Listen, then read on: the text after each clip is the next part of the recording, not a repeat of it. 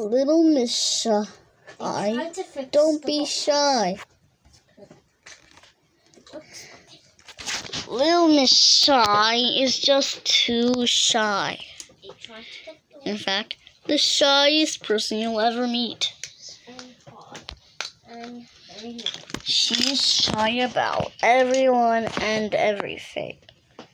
She's shy about Mr. Nonsense. She's shy about Mr. Silly. She's shy about that little Miss Christmas. She's shy about, about Mr. Cheerful. It's really easy for her to be shy. on it. On it on one to talk to Little Miss Shy one day, everybody knew but Miss Shy was just too shy. But that Miss Don't be shy, said Little Miss Chatterbox. It'll be fine. So they Little Miss Shy couldn't see them remembered. I won't be so shy.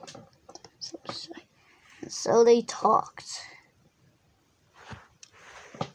The next day, they tried and they tried tickled, and tried tried until to tickle Little Miss Shy. But Little was Shy wasn't shy, and she didn't sob. And how did it start? So Little Miss Shy is now never shy, and she never sobs. Don't think I've learned my lesson today. to be wrong. But then it got extremely bad for a time. She's learning her lesson now. Oh, yeah. It's the end.